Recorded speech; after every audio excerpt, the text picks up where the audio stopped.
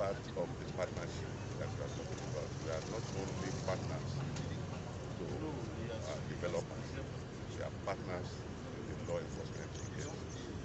And it's like uh, working together with our partners in building to deliver what you call CSR, giving back to society and ensuring that what we are giving back actually what is needed in that area.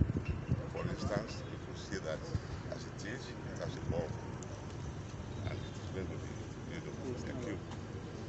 You know, the other aspects that the police could not manage, maybe due to lack of budget in this year, we will take it over.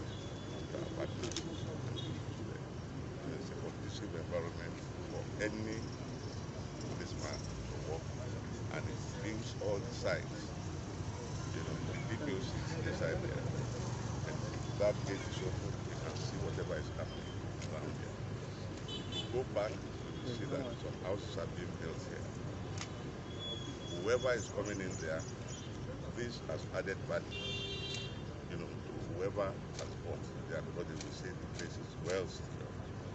This is the thinking and the philosophy Federal Housing Authority as an arm.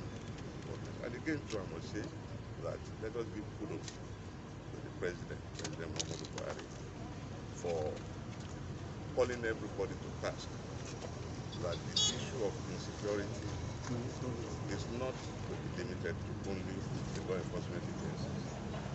It concerns every one of us. And uh, we are playing our own little role here. You should play your own role too. The are playing coming in here and seeing that indeed the government is doing something positive to secure the lives and property of an average Nigerian. In fact, you know, you heard one of the general managers mention that there are other three spots within alone where you know police have been given um, allocation develop and you know, enhance this tourism.